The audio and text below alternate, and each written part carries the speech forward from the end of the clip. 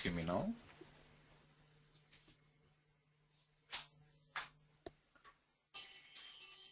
Can you quickly type in the questions window, guys, if you're able to hear me? Great, appreciate that. Thank you, guys. Just give me one second here.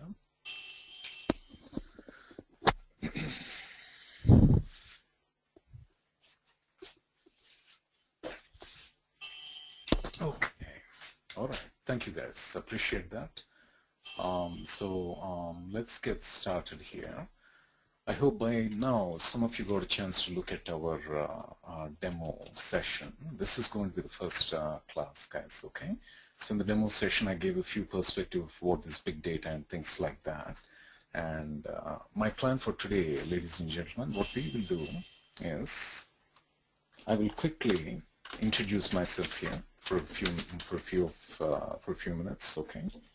Going to be step one. Step two, we will go ahead and have a few uh, introductions of uh, some of our uh, folks who have joined and we'll just try to understand and exchange uh, you know, their views and perspectives a little bit, spend a few minutes, not really a lot, um, and so just in the interest of the time. And then today we will go ahead and uh, take a first look at our first uh, big data uh, introduction to big data uh, session, guys. Big data and uh, what's big data and how do we will try to get into it a little bit uh, more deep. And uh, we'll spend about an hour on that. Then the next part of it, gentlemen and ladies, we will go ahead and have uh, a question session for today so that you guys can go ahead and let me know what, what if you have any questions and things like that. Based on that, we will try to um, uh, take the next step and things like that. So that's going to be the Q&A. And uh, so let's see, before I introduce uh, this uh, one guys, let me also bring up, I think you may have already looked at uh, our course modules and things like that. So I'll have that come up in a second. And Let's go to close that. Oops, one second guys, let me go in. Close that, cool. Let's come back here.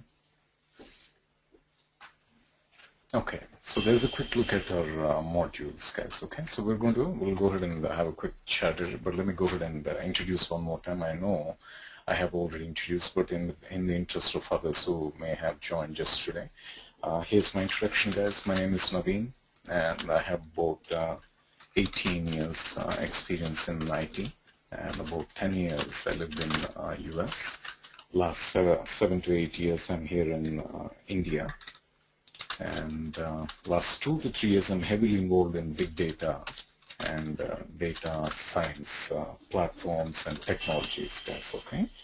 Um, so that's a brief introduction about myself one more time. And what we will do now today is, you know, before I move on, I just want to let you know the here are the course modules, guys. This course is both includes both uh, admin and development, and we will go deep into the admin and the development concepts, guys. Uh, we also have a support team uh, on standby just in case you need any help or in case you uh, want any uh, additional uh, support. our support team can also help you. And the, some of the main modules are big data, Hadoop, and advanced MapReduce concepts. Uh, planning a cluster, how do you design a cluster, and uh, getting into the admin administration. I will have some of the admin uh, topics also coming at the end. Here are the uh, uh, other modules, right? Big Hive, HBase, and so on. If you looked at our demo, I have given an introduction, so I do I, I will not go much into uh, that one, guys, okay, as to what it is. Uh, and when the right slides come up, I'll give you a bit more uh, uh, conceptual introduction about those things, guys, okay?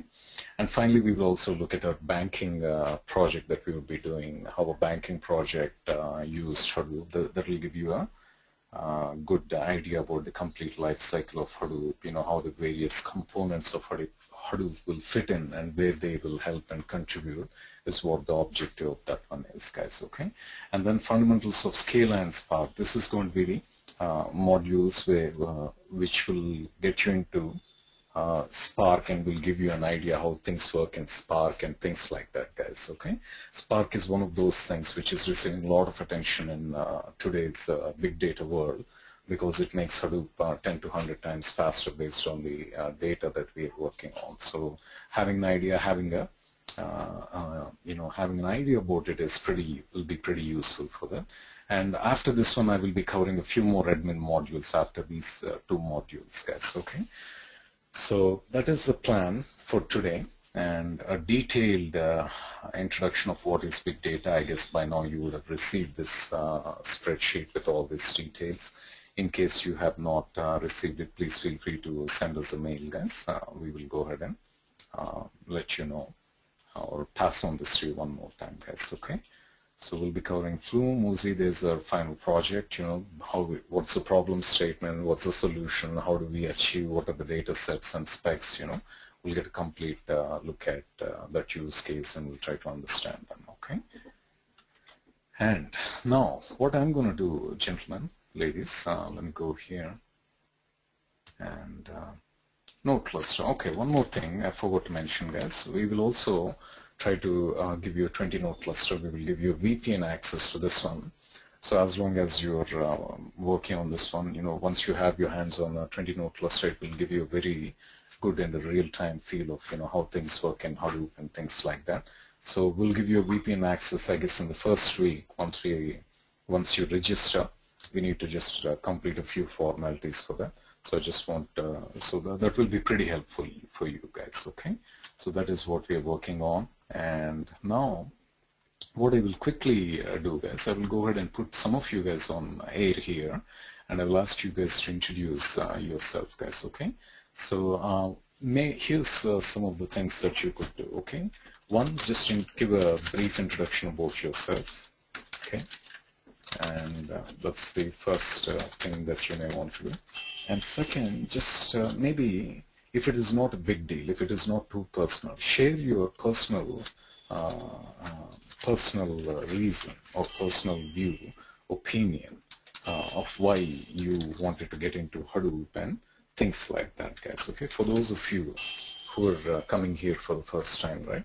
If you look at my demo, I have given some my own perspectives why it is important and so on, guys. So it is something you, which will be um, which is a pretty good uh, thing to be in as of today. And uh, the whole world, if not today, tomorrow, they are touching big data, guys. Okay, so those are the perspectives I, I did explain in my earlier demo. So I won't bore you if you already have looked at that one. And we'll also get a uh, feel of what others are thinking. There are a bunch of guys here, but I will not ask everyone to get introduced. Guys. We'll just take about three to maybe five of them based on the time and spend about 5 to 10 minutes guys okay so any volunteers here guys who wants to just come and introduce uh, themselves on air can you just quickly type in the questions window and uh, I'll go ahead and uh, if you're able to talk Bikash shall I give you a uh, chance to come on buddy are you available any others guys any volunteers out there who wants to just introduce. You can just type in a Y in the questions window and I'll first uh, give you a chance if that works. Abhishek, all right. IIT Bhubaneswar, wonderful. Let me see, where is Abhishek here? Abhishek Mandra. Abhishek, you're on air, buddy. Go ahead.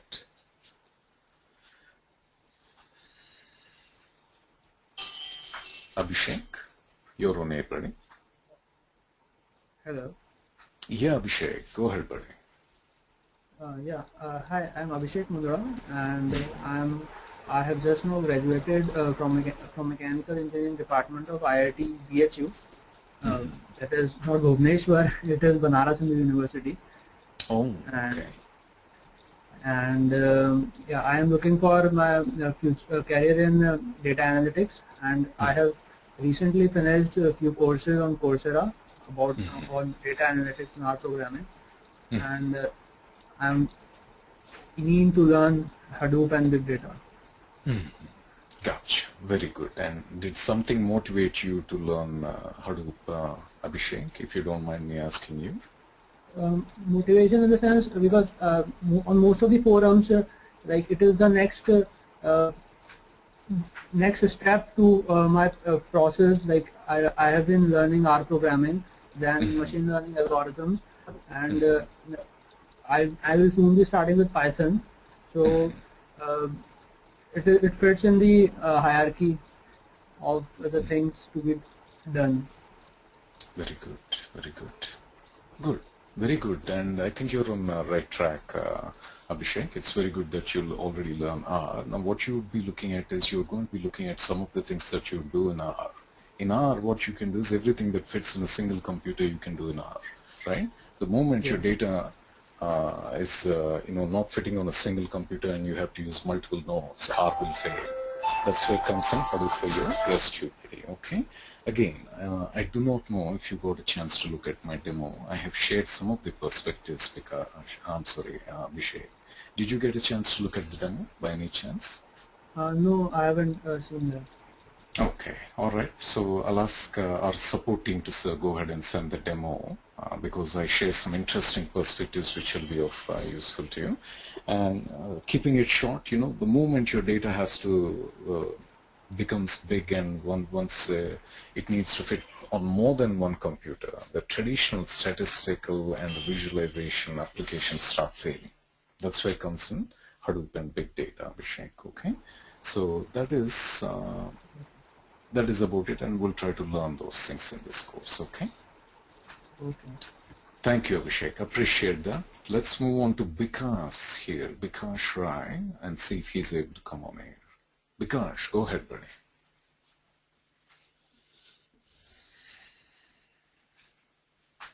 Okay.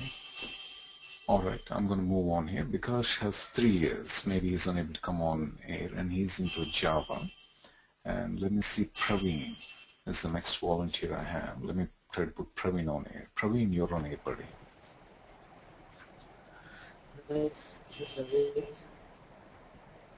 Praveen, a little bit closer, buddy. Hi, this is Praveen. Yeah, go ahead, Praveen. Go ahead, Praveen. This Praveen. Uh, actually, I'm working with some private concern in uh, Oracle and uh, Java. So I've been, my friends are like very much interested in learning this uh, Hadoop because uh, this is the future technology for storing the data. Uh, so I, I also got interested into it and I have some, I have learned by some tutorials from online. So, so to get some clear idea, so I joined this uh, uh, session now. That's it. Very good. Okay, good to know, Praveen. So it's your friends who suggested you to learn Hadoop. And did you get a chance to look at our demo uh, by any chance, uh, Praveen? Uh, no, no, no. Okay, so I would recommend you to go ahead and look at our demo. It is, uh, I have shared some good perspectives why it's a good reason, why it's good for you to go ahead and get into this one. And uh, just have a look at it. And there are others who have already seen this, so I will, uh, for now, just go ahead and pass it on and uh, move to others, Praveen. Okay? Thank you, buddy. Appreciate that. Okay?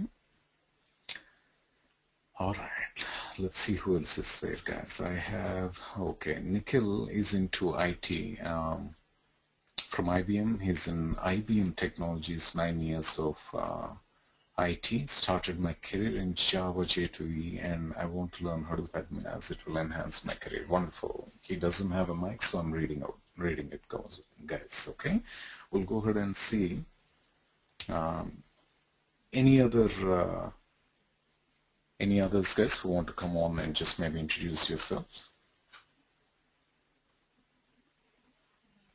See. And let's see, Ranga is just joining. We have Raja here. Mayank, would you be would you be wanting to just come on here and just introduce yourself?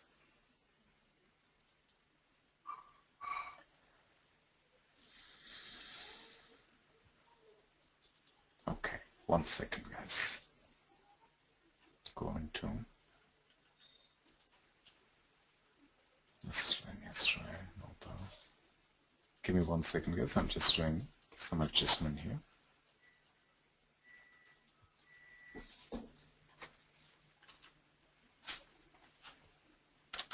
Okay. Cool. So, alright, we'll just go ahead and uh, give one more. Barry Nussbaum, I'm going to put you on air, Barry. Just go ahead and see if you'd like to just briefly introduce yourself. Barry, you're on.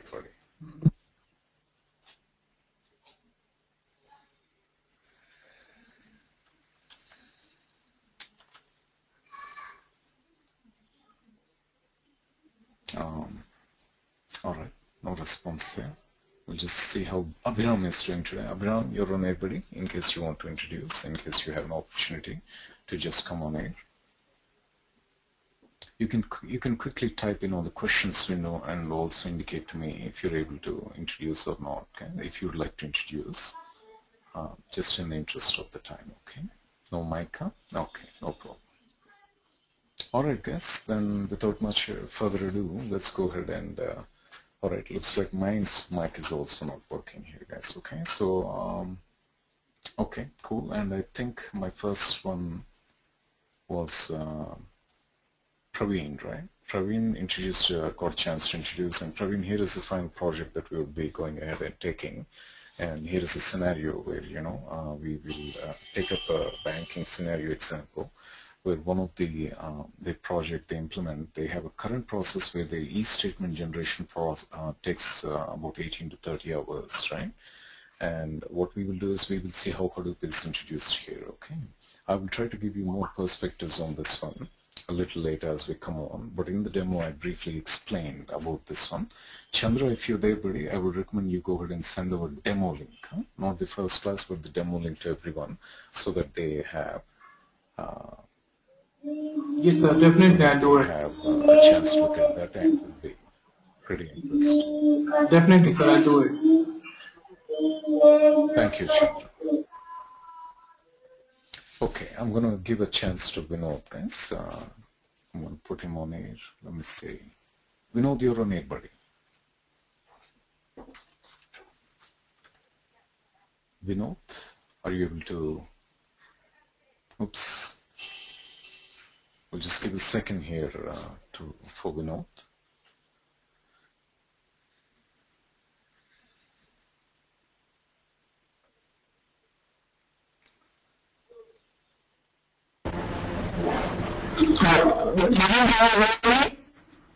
Vinod, I can hear you now. Okay. So I have one question like, you know, uh, how, uh, like, you know, I mean, learning big data, how is it going to help us? Like, uh, I have just completed my BTech and I'm just passed out. So I'm just looking for uh, looking to enter into the analytics market because uh, I keep reading that there is a lot of potential.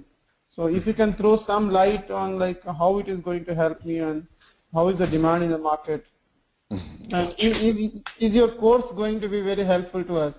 Mm -hmm. Absolutely, you know that's a very good question. I think in the interest of everyone, uh, that will be of interest to everyone, and uh, um, see, these are these are some of the things I have earlier shared, and it's good that you again uh, brought it up. Um, the question, is, uh, the thing is, if you were to take uh, .NET or Java, you know, there's only one company behind it. There's either Microsoft or Oracle or you know SAP behind it.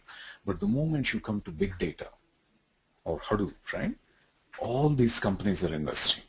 Microsoft is investing in Hadoop uh, and big data related technologies. Oracle is investing. You touch any company. The moment you touch big data, the default solution will be Hadoop. They will process a lot of data and they will get the data and they will give it give out to many applications. And every company is coming uh, with, they, with their own projects. The more the projects they come up with, the more the opportunities, guys, okay?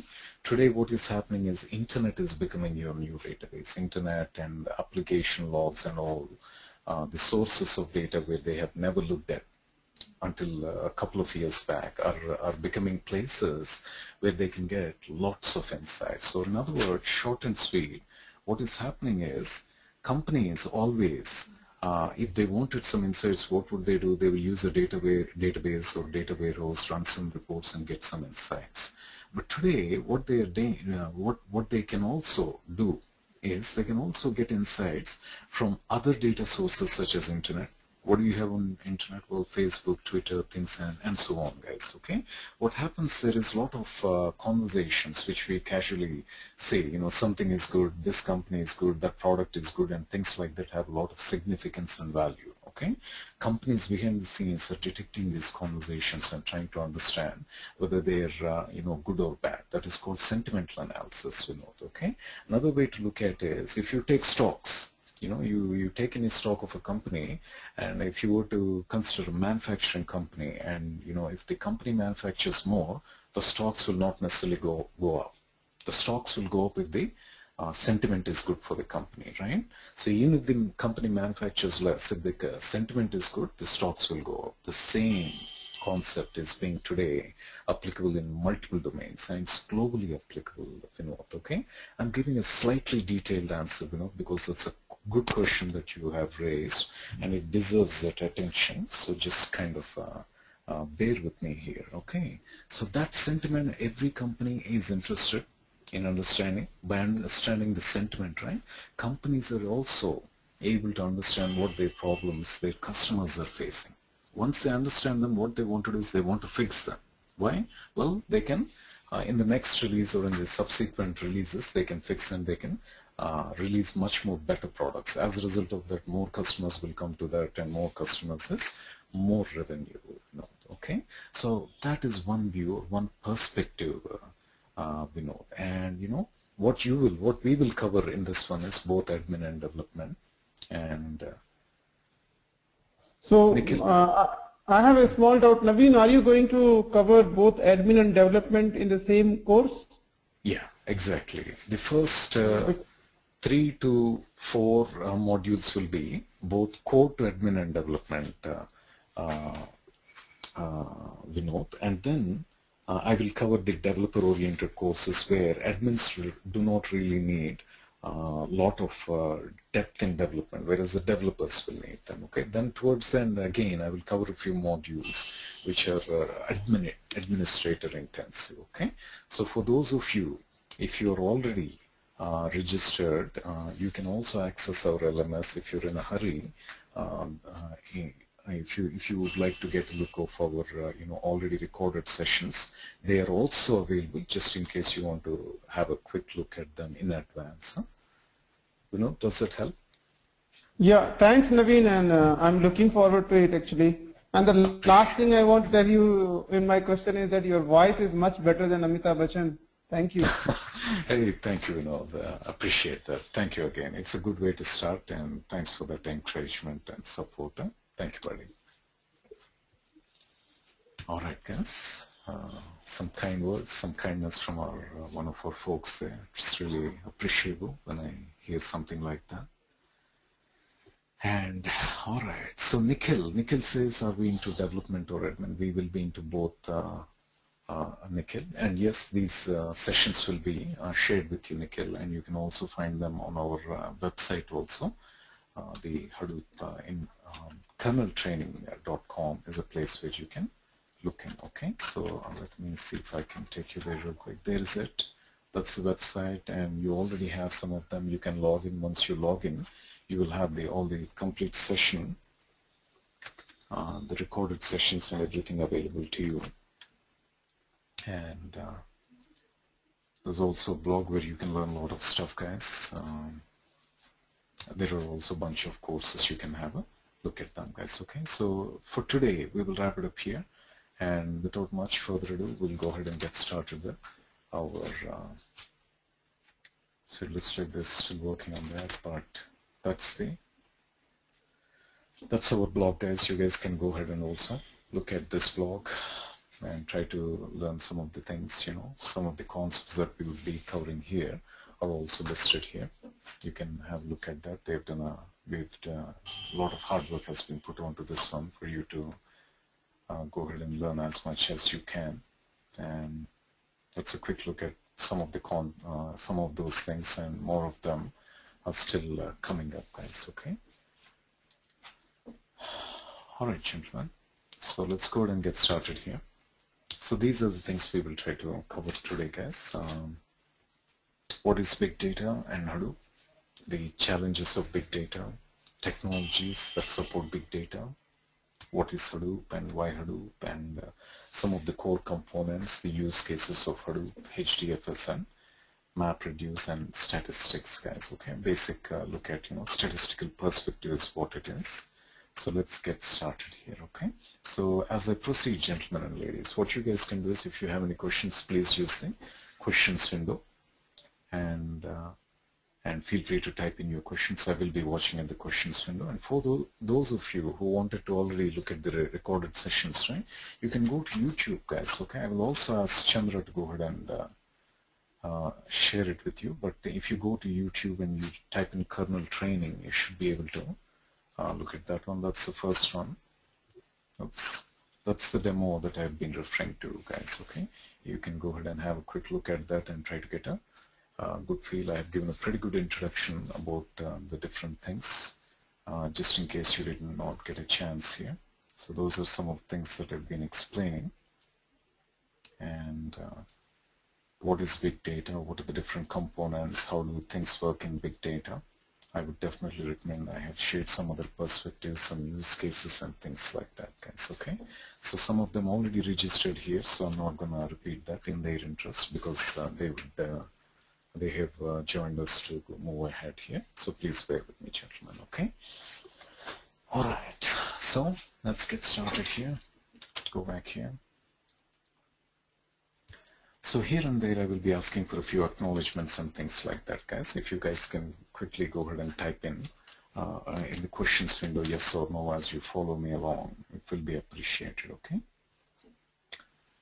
Um, you can just type in a Y or N just to keep it short and simple guys, okay? So that's big data. Big data is a term applied to data sets whose size is beyond the ability of commonly used software tools to capture, manage, and process the data within a tolerable elapse amount of elapsed time guys okay? Let's try to understand what that is okay? Imagine you have a laptop guys okay? This is your laptop. And imagine you have about 1 GB of data okay? I'm gonna say that is? 1 GB of data okay? Now what what can we do? Well I can go ahead and plug this data into my laptop then what can we do? We can go ahead and process that. You can write a Java program or a .NET program or you know a shell script and things like that. You can successfully process the data guys, okay? But let's say you have about oops, go ahead and undo that. Come back here. Go ahead and select this. Let's say you have about 100 terabytes of data. For sake of simplicity, I will start with 100 terabytes of data and by now you may already have an idea guys. Um, 1 terabyte equals 1000 gigabytes and then comes 1 petabyte which equals to 1000 terabyte and then comes exabyte guys okay? That equals to 1000 petabytes okay? Now let's say you have that amount of data. You try to fit in to your laptop it won't fit. You try to fit into a server it won't fit guys okay? So what happens? Well what what do what do people do? Well this is what people do guys or rather companies do okay? What will they do? They'll set up a cluster. For now think of cluster as a bunch of computers guys okay? So let's say I have a group of computers. For sake of simplicity I will say we have about 100 nodes or 100 computers or 100 servers okay and so on I'll put five of them there guys okay? Now because the 100 terabytes doesn't fit on a single node or a single laptop or a computer they will go ahead and first split this guys okay? So let's come here. Let's go ahead and say it's split into let's say one terabyte there and let's say it's split into another terabyte there. And again like that and so on guys okay? So let me see because I'll come to your question in a second, buddy. Let me just complete this.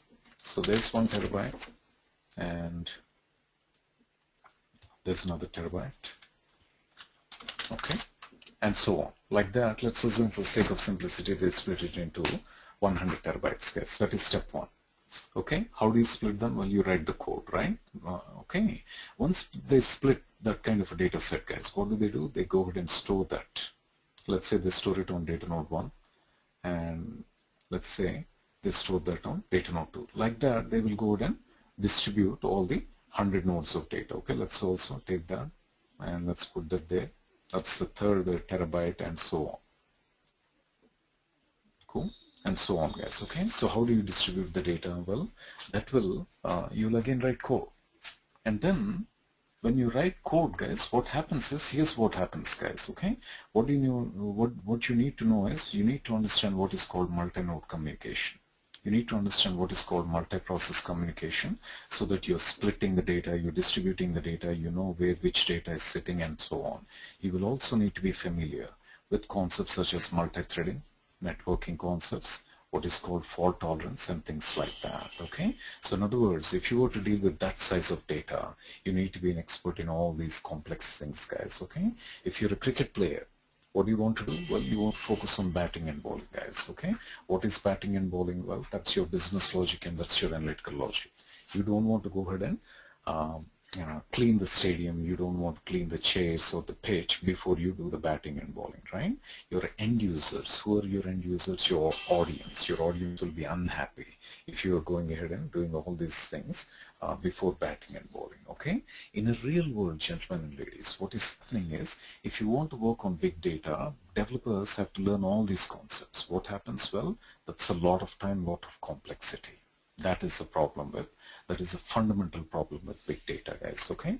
If you want to drive a car, what do you do? Well, you turn the key. What happens inside the car? Your fuel gets converted to electricity, guys, okay? So, what is the problem? What is the solution here? The solution is, there's our Hadoop, guys, okay? Let's go and choose that, say, there's our Hadoop. And what does it do? Well, Hadoop will take care of all these complexities for you. You don't have to worry about all these concepts. What do you do? Well, you, it simplifies your program. It gives you tools. It gives you the car to drive the, uh, it gives you the key to drive the car, guys. What is the key? Well, those are your different tools. Your Hive, your Pig, your Sqoop, and uh, Oozie, and all those stuff, guys. Okay? It will take care of all these internal complexities. And what you, you focus? Well, we focus on batting and bowling. What is that? Well, that is our business logic and analytical logic, guys. Okay? Am I making sense, guys? Can you give me a quick acknowledgement?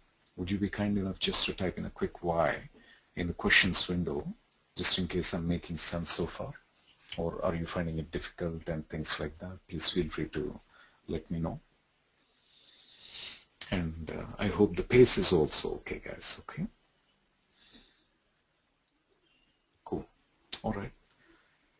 Okay guys, so so that's a look at one perspective of uh, Hadoop guys. Okay, now here's another perspective that I'm going to go ahead and also share guys. Okay, I'm gonna if you come back to our definition, what am I saying?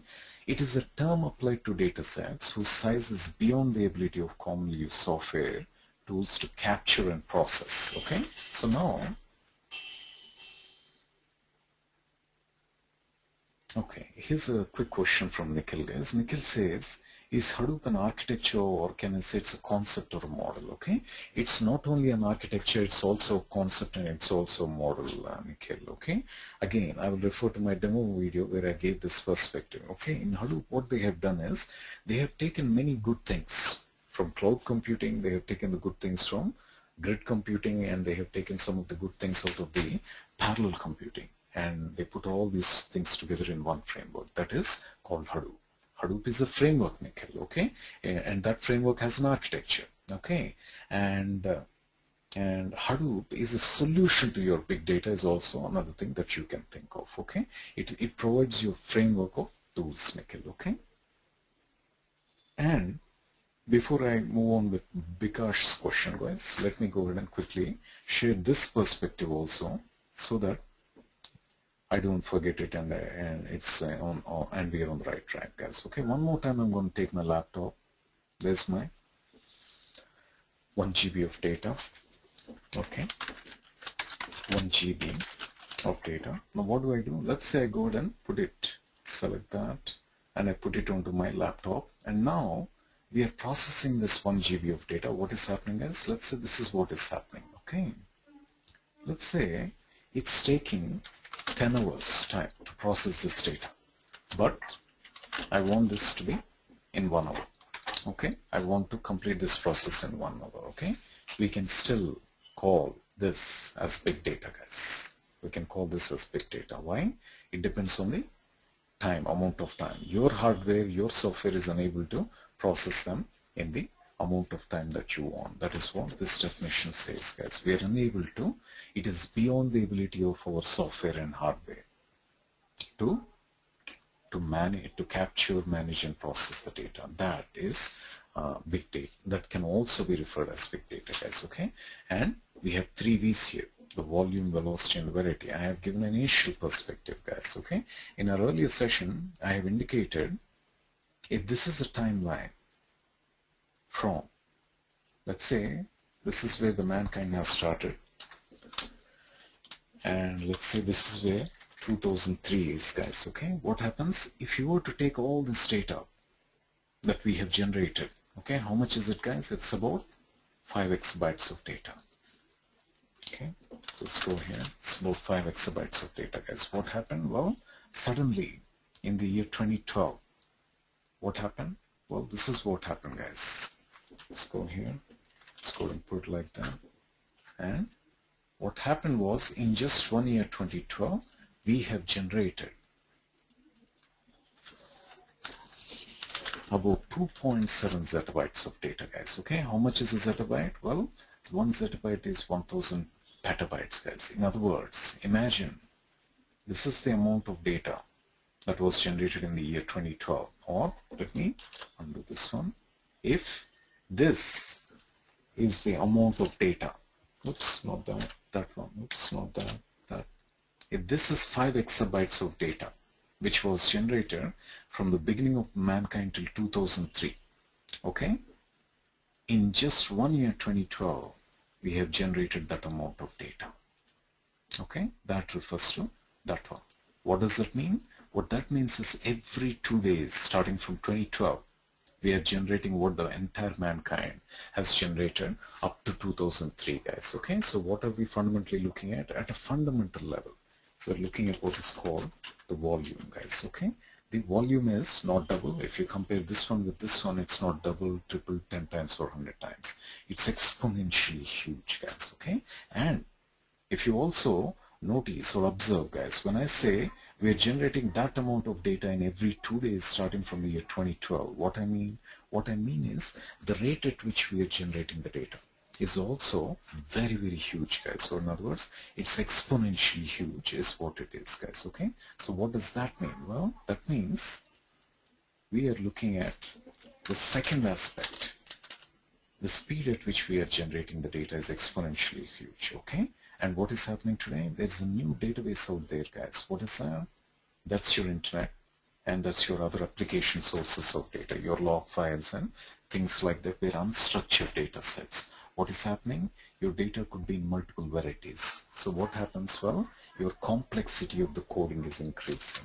Okay, that is the referred as a variety. As your variety increases, variety of your data increases, your complexity of your applications is increasing, guys. Well, okay, why? On internet, every company has their own formats of uh, exposing the data. So one may be exposing in XML, another maybe expo exposing in JSON and so on okay and and what are, what are these three things well that's what the big data is guys what is big data big data equals to V plus V plus V that equals to 3 V's. Okay that's what the big data refers to guys. That's a shortcut to remember big data. So gentlemen ladies am I making sense? Are you with me? Can you give me a quick acknowledgement please? If I'm making sense and you guys, are following me okay so far. Which company developed Hadoop? Abhiram, the company, the uh, actually it was Yahoo was one of the companies, uh, or actually the main guy was Doug Cutting. He was working on uh, on a crawl on search engine uh, uh, framework, and he came across the Google paper which they published a few years back, okay? And he was greatly inspired, and then he started working on uh, Hadoop project Abhiram. Then what happened was, you know, Yahoo noticed that this guy started working on Hadoop uh, and they, they were interested in this project and they started investing. And later, you know, it was uh, it became part of the uh, free or rather the Apache open source uh, software foundation, and that's how uh, it came into the existence. Okay and uh, you know the way he he named it Hadoop is his boy or his son. It was uh, I think three or four year kid. He used to play with the toy elephant, and when much when Doug Cutting was given you know enough uh, funding and things like that, they also asked him to name the project. So maybe out of his sentimental things like that, he went ahead and named his uh, project after his son's toy, which is Hadoop uh, Abhiram. Okay, so this little Hadoop, gentlemen and ladies, I'm going to be slightly sentimental. It's like our, uh, it's like our little Vinayaka, guys. Okay, hopefully, or actually, it looks like our little Vinayaka is bringing in a lot of uh, opportunities and jobs. But that is what is the story behind it, is, guys. Okay. Okay, and let me go to Bikash's question here. Just one second, guys. He says, I'm from Java background, but in Hadoop I will be completely new. But company wants 3 plus experience, so they want. So will they hire me? Absolutely, Bikash. Okay, so, you know, uh, Hadoop is just now picking up. You touch Java and .NET, there are hundreds of thousands of people there. Hadoop is something which is just now picking up uh, in the last one year. And so, uh, it's receiving a lot of pro prominence and importance. And as I indicated earlier, Abhiram, every company is touching big data. Okay, why? They want to get insights from internet. They want to get insights from other application sources such as log files, email data sets, and things like that. Hadoop provides you an easy way to analyze these things uh, uh, who was that? Um, I think I lost Vikash. Okay, so that is that is why everybody is touching it, and they will say, you know, they will say they want three years. They will also say they will say ten years. If they want a cricket player, they'll say he needs to be, uh, you know, uh, good in basketball. They will also say they, he needs to be good in hockey. But if you are good in cricket, you're ready to go ahead and prove it to them. So, you know, they might say it's three plus experience, but what you can do is you will get a re reasonably uh, good amount of experience by doing this course and I think you can easily be able to project it. What you can also do, Vikash, is uh, the concepts that you learn in during this uh, during this course, right? Um, you can take these concepts and apply it in your own company in your own use cases. What I will do is later, when when you have a chance, you share some of the stuff that you may do either personally or maybe uh, uh, personally or privately um, and then I will give you a few hints and direction how you can go ahead and project as if you have done a similar kind of project at your company and that will help you. Okay? Like that what you can do is you can also add a bit, a bit more experience and you will be able to support yourself. Cool Vikash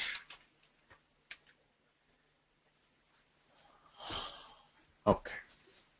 All right let's move on here guys. So big data guys. We have internet is becoming the new database guys. What we have here well we have lots of things which are going on internet and other sources guys. Okay so let me just bring up my tool here. Take a snap so discard and let's see what we have. Well what we are indicating here is big data it's a combination of transactions, interactions, and observations, guys, okay? Transactions are those things which are inside your database. What you say, what you update, what you delete are referred as transactions, guys, okay? Then you have what is called interactions. What is an interaction? Well, you're on Facebook, you're on Twitter, and things like that, you're interacting. What you write is what is referred as interaction, guys, okay? Because you're interacting with your your friends, your relatives, and so on. And then you have observations guys. What are those observations? Observations are these things the log files and any other sources of information right? Uh, your application logs your other uh, server logs and things kind of things are referred to uh, the observations okay? What do companies do? Well they they generally go into their database get the insights okay? And uh, what is that? That's like going to going to the rivers and finding the fish okay? What do we have? Well we have seas and oceans there. What is seas? That seas the interactions of the seas and then the other sources of data is becoming your oceans. If you're able to find fish here, okay, if you're able to find fish here, you can find a lot of fish in the seas and oceans, okay. In rivers, if you're able to find fish, what I'm trying to say is you can find more fish in seas and oceans and those things is what uh, the, uh, the companies are looking for guys okay what we are indicating in this graph gentlemen and ladies okay what we have is as the volume of the data is increasing the complexity of the coding is increasing. That's where Hadoop comes in. Your complexity of the coding will not increase as the uh, volume of the data increases. Your no matter how big your data is your complexity of the coding will remain the same. All right? So it is independent of the size of the data guys okay? And different varieties guys. You can analyze the web logs you can analyze the RFID sensors and so on. Many companies many other institutions uh, like weather and so on weather institution and uh, weather data center rather uh, what they're doing is they're opening up their data. Government is opening up their data and they're asking people to see if they can find any patterns in their funds in their transactions and things like that and uh, be able to figure out some useful insights and see if there are any any fraud which is happening or by opening up the other data sets right what uh, they, they want is if anybody is able to find a pattern where we can predict the cyclones and things like that it will be pretty helpful in taking some measures and things like that guys okay? That is the idea. So gentlemen ladies are you with me? Can I move on to the next slide please? Quick acknowledgement guys. Great. Thank you guys. Some of you have been very religious in uh, giving me an acknowledgement. I appreciate it guys. Just give me one second here. Okay. Alright gentlemen, why big data? Big data is driving the demand. We are generating more data than ever guys. Remember we just discussed every two days we are generating about what the entire mankind has generated up to 2003 guys the speed at which we are generating is very very huge all right and what is that data that we're talking about well some of that is financial transactions with uh, sensitive information removed. Why, why would they expose financial transactions? Well to see if anybody can find some patterns which will help them in figuring out some fraud.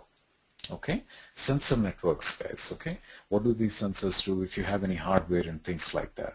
You can go ahead and hook up sensors and these sensors at every millisecond they're capable of generating thousands and thousands of uh, records guys okay what do you do you have to store but that that will end up in billions and billions of uh, records in just a day okay if you go to traditional databases they will be very expensive guys that's where Hadoop comes in and provides you a very cheap solution, rather inexpensive solution. Okay, and the log files, you can put all your log files together and you can get some very, very useful insights. Okay, these are the things that companies were not really looking at that much, guys. They had a look at that, but their look was different. They, they, they were looking in a very narrow sense, okay? They were never looking at it from a sense of R&D or some research and uh, trying to find more insights. Uh, the way they are looking has looking at these things have changed today. That's what Hadoop presents us, us guys, okay?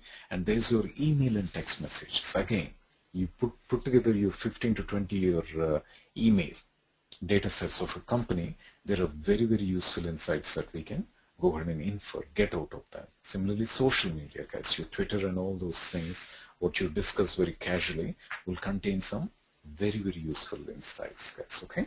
Again if you refer to my earlier session I have I did explain about those scenarios guys so I've been slightly particular about referring to that one. If you get a chance do have a look at it guys okay? We'll also try to discuss as we move along but that's a quick look at it okay so there's why big data we're generating new data faster than ever we've just discussed about that you know, one of the reasons is ubiquitous internet connectivity, guys. Okay, our new Prime Minister Modi, he wants every village in India to be connected by internet, fiber optics and so on, guys. Okay, what does that mean? More data. More the people get on, more the data, more the chance for analytics and in trying to understand what the problems of the people are and it will be much more better in uh, in addressing them, guys. Okay, so that's good news. We have two kinds of data guys. One is user generated data and one is machine generated data okay? What is user generated data? User generated data is something which you enter. Let's say you're typing in something or you're entering in Facebook LinkedIn and so on or any social networking site that refers to the user generated data. What is machine generated data? As you type in there's a lot of data which is getting generated in the server log files, you know, your IP address and things like that. And you have videos, uh, CC cameras and things like that. They're recording a lot of uh, stuff, guys, okay? That refers to machine generated data. You go to any street, any of the major cities and towns in the world today, they're hooking up additional uh, CC cameras and along with them lots of sensors are getting hooked up. Why? For the case of security guys, okay? To improve the security and uh, and and lots of data comes in as a result of that and they can be analyzed, okay? When when time is uh, uh when it is needed, all right? And here's a quick snapshot of what is happening on a daily basis. Twitter, about 340 million uh, messages, guys. Okay, Twitter is one of the main uh, door uh, for people to do the sentimental analysis and things like that or it's one of the thing and we will do a project how in how to use Twitter and try to understand the sentimental analysis uh, in, in our course guys okay? There's Facebook they generate about 2.7 billion comments likes and companies are crazy about something called likes guys okay? Again I did give some uh, example about that one in our demo so again have a look at that one. And then there's large hadron collider guys okay? I'm a very physics enthusiast. I'm a, a huge fan of physics guys okay? Uh, when they did this experiment somewhere in europe they said they've discovered something called god particle. I won't go too much into physics guys okay? But what happens? That's what they generate in, in, in a day. 68 terabytes of data. Every second or every minute guys you know from what I recall they were generating millions and millions of images when that experiment was going on okay? They used Hadoop to go ahead and uh, analyze all those images is what I have read at that time guys okay so that's a quick look about uh, those uh, you know on big data and moving on here guys let me check to see if there are any questions here come here come here. Okay, if you have any questions, please feel free to type in there, guys. Okay. And let me take question also before my I move on, guys. Abhiram says, Abhiram, I think I answered your first question about which company developed Hadoop. Do they have a proprietary ownership or is it open source? Okay, sorry, Abhiram, I missed that. Okay, it is open source. Actually, the Apache Software Foundation, what they release is the uh, uh, is the core or rather the main uh, Hadoop program. And then there are other companies such as Cloudera. Apache Software Foundation does not give you support. They will just release the software. If you need any support, they will not give you. They'll say if you find any problem, they'll say open a ticket. That's where comes in other companies such as Cloudera, you know, Hortonworks and things like that. What they have done is they have taken the Apache Software Foundation version of Hadoop and then they went ahead made a few changes and they also provide support.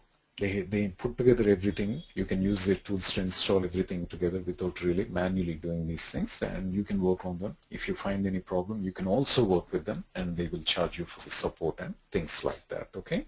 The Cloudera's uh, version is uh, one of the most popular one um, and then is the Hortonworks. But at a core, you know, Hadoop, the Apache software Hadoop is like the ambassador car and if you learn that one you know all the others are different cars you're good in if you learn ambassador you can also drive a BMW or a Benz that's what the other things are guys okay so what we will be doing is I will show you from an, uh, an ambassador perspective and I will be showing you from a BMW and I'll leave you there. The ambassador is the Apache software Hadoop and the BMW is the Cloudera. These are the two things I will cover during our course. Once you learn these two cars, you're ready to go out and drive any car, uh, okay? Let me know if that helps, Abhiram. Cool. All right, let's move on here. And this is what I have, guys. Okay, notice here we have something called structured and unstructured data, guys. Structured data refers to something or refers to something which is in your database. If you have a table in your database, guys, what do you have? Well, generally you would know what is the parent-child relationship and constraint that is called the schema guys the schema is referred as the structured data okay uh, whereas when you take the data which is on net or application logs and other sources of uh, uh, other applications right you do not have a parent you do not have a child or you do not know anything about relationships or constraints okay that in other words short and sweet you do not know the schema That is called unstructured data, guys. Okay.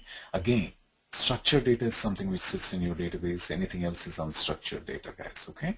What's happening today? Companies are going to the database to to find insights. They're going to the rivers to find the fish. What are we saying? Go to seas, go to oceans. What do you do? There's more data there.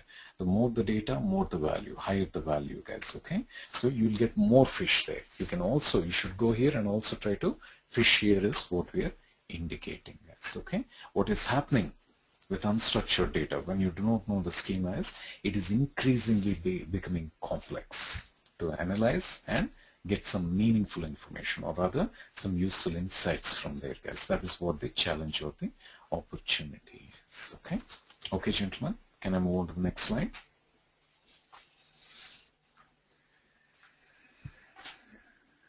Cool. All right. So traditionally what is happening? What were guys doing? What were companies doing before. This one is here's what was happening guys okay? If they come across what is called big data what they would do is they would use a powerful server. Again I may have given this example earlier in my uh, demo guys but just give me a, uh, a quick uh, opportunity to review this. Imagine you go to a Airtel office and in the Airtel office what do you see? Well you see a PhD guy standing there and collecting the bills. What will happen? Well for a PhD guy you will end up paying a lot of salary let's say you're paying him 1 lakh rupees per month what will he do well he'll be able to collect about 10 to 15 bills per one hour guys okay we can also do this guys instead of hiring a PhD guy we can hire uh, uh, about maybe let's say 10 people who have completed their degree. For the sake of simplicity, just bear my example guys, okay? So I took 10 guys who completed their degree and what I will do, I will instead of paying them 1 lakh rupees per month, I will pay them 10,000 rupees per month. Okay, and what does that mean? Well, I get about 10 people for 1 lakh rupees. And what can they do? Well, each one can still collect about 10, uh, 10 to 15 bills per one hour. Okay so what does that mean? In one hour I'm able to collect about 100 to 150 bills per hour. Whereas with a PhD guy in in one day if he works for 10 hours then that's what we're able to collect okay so what a PhD guy will take one full day in one hour I'm able to accomplish guys okay traditional architectures you know they they use something called a powerful server what's a powerful server they're called enterprise class servers guys you have two different kinds of servers. Uh, uh, one of them is an enterprise class server. So let's say this is an, oops, go here. This is an enterprise class server and you have another one. The other class is called the commodity hardware or commodity class servers guys, okay? These, okay, they're expensive.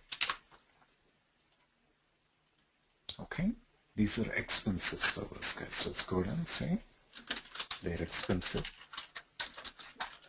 and uh, they cost anywhere from dollar 20k to 100k and so on. They could be higher also.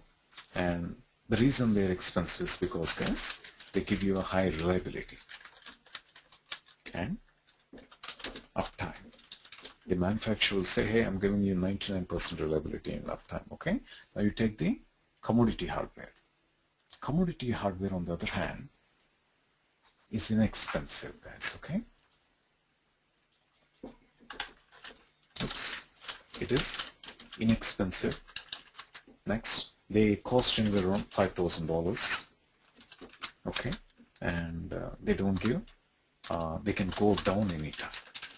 Okay, the, in other words, the uh, the manufacturer does not give you a high reliability and uptime. They can go down anytime. There's no reliability or guarantee. So what do we do? That's why there are there is something called replication, which we will talk. But these this is the enterprise class server. This is the commodity server, guys. Okay, our commodity server is something like our degree guys in our Airtel office, whereas this one is like a PhD guy in your Airtel office, guys. Okay, so what are we doing? Instead of using PhD guys, we will start using what is called commodity hardware guys okay so let's come back here uh, Abhishek, uh, the enterprise class servers are expensive. They generally range anywhere starting from $20,000 to $100,000 and so on. And uh, they're highly reliable. Okay, so the manufacturer gives you high reliability and uptime. whereas commodity hardware are much inexpensive. They're around $5,000. The only problem with them is they can fail anytime. So that's the reason we have some concept of replication, which is uh, inbuilt you, when we are using these servers. Okay, does that help, Abhishek? Okay, so again, what I'm trying to indicate here Okay, what I'm trying to indicate here is with big data, when they were using powerful servers, what, what would happen was they would go ahead and only store a limited amount of data, guys. Okay, one PhD guy can only take up only 10 to 15 in one hour, whereas 10, 10 degree guys can take lots of data. What does that mean? There is a limit on how much a powerful server can process guys okay short and sweet what is happening well if you have very very big data let's say you have one terabyte of data let's go ahead and say that is one terabyte of data. Let's say I'm able to fit that onto, select that, oops, select that. I can fit it onto a computer. Let's say that is 10 terabytes I can fit it onto that one. But let's say well, that is 100 terabytes. I cannot fit that into a single computer. What do we do? We will maintain. We are losing. We'll have to throw a lot of data. Even if we were to go ahead and maintain multiple servers okay. Oops. Put there. Even if I were to increase the number of servers what will happen is if if I go ahead and split my data and start distributing the data the complexity will increase yes the complexity will, will increase and your expenses will also increase exponentially. That is what the problem that the companies are facing. Okay. That is what we mean by you know storing the data storing large amounts of data. And then if we were to store the data, processing that, analyzing that is also going to be very difficult because we need to know a lot of uh, concepts, advanced concepts such as um, multi-node, multi-threading and all those things that we have discussed guys, okay? So what's happening? Traditional systems cannot scale if you were to add more nodes, you know, your complexity will increase, your expenses will go exponentially. And if one of the node goes down, you'll have to manage the partitions, the vertical partitioning, horizontal partitioning, all this will become very, very a headache. So those are some of the problems of the big data, guys, okay? Am I making sense, gentlemen? Can you give me a quick acknowledgement, please, gentlemen and ladies? Cool. So that's where comes our Hadoop, guys, okay? What does Hadoop do? Well, what is Hadoop? It's a software framework, guys. What is a framework? A framework is something, your car has a framework, guys. What does a car uh, do? Well, you turn the key, it converts the fuel to electricity. How is the fuel getting converted to electricity? It's a very sophisticated mechanical engineering process which is happening but you do not have to be a mechanical engineer to drive a car, right? So in a similar way, so that's why it's called a framework. It's an engine, guys. A framework can also be compared to an engine. What does a car do? It's hiding a lot of complex things from you as a user. A driver does not necessarily have to be a mechanical engineer. What does Hadoop do? Hadoop is also a framework like that, guys, an engine like that. What does it do? It will hide a lot of complex things inside. For what? Well, for supporting data-intensive distributed applications, right? Or in other words, when we have large amounts of data and when we have to go ahead and do some programming or analytics and things like that, it will allow us to easily go ahead and do that, guys, okay? It is free. We don't have to pay. That is a good thing. Uh, and it enables applications to work with thousands of nodes and petabytes of data, guys, okay? What does that mean? Well, what that means, guys, let us say let me go ahead and take this example guys okay? I'm gonna remove this remove this remove this this this okay? So there's my data. Let's say I take a few more enterprise class servers guys okay? If I have a single enterprise class server let me go ahead and actually blank this. Come here. Let us say I have a single enterprise class server and let's say for sake of simplicity this has about one terabyte of data. Okay let's say we are doing some processing on this and let's say this takes about for sake of simplicity again I'll say it takes about 10 hours guys okay? So what do I do now? Now I go ahead and add let's say another server okay? Now what do I do? If I were to go ahead and put 0.5 terabytes here 0.5 0.5 there oops. 0.5 there. And I will also put oops come here.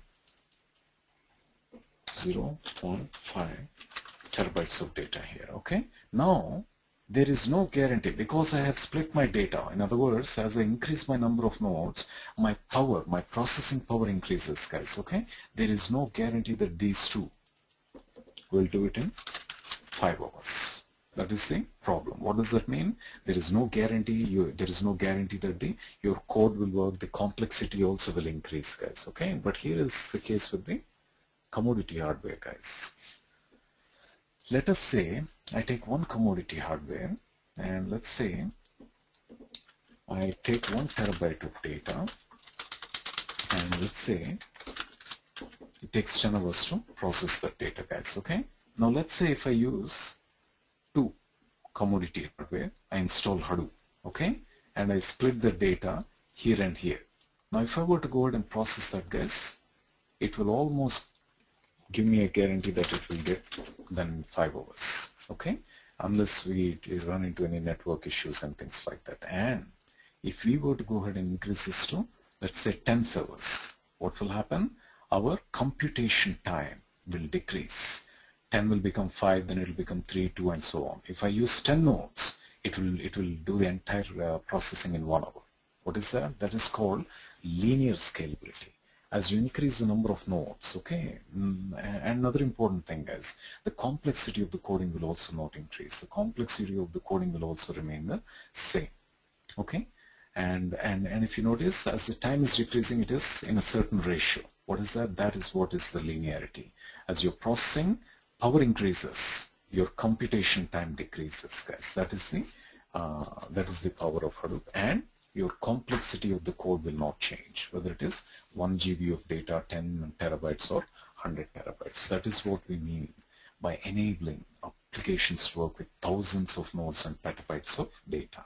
Okay, and it was inspired by Google's MapReduce, guys. Okay, so what is it with Google? You know, you, you might wonder, uh, or if I were to ask guys, you know, Google did it. Okay, so Google did it, why should we uh, do it, why should we learn it and things like that. Okay, so here is the reason guys. Google became successful. By learning these concepts, right, we can go back to our companies and organizations and help them in being successful.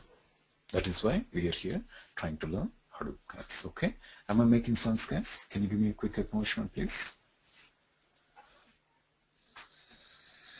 Very good. Okay, so gentlemen, ladies, here's what I'm going to do guys. Okay. It's about 20, 2111. Let's take a short five minute break here. I would like to have a glass of water. Just come back and take your questions. You can type in your questions. Once I come back, you can go ahead and uh, uh, uh, we can continue guys okay so just give me about five minutes here you also try to stretch out and come back 2117 or 917 will regroup guys I'll just leave this open okay thank you guys I appreciate that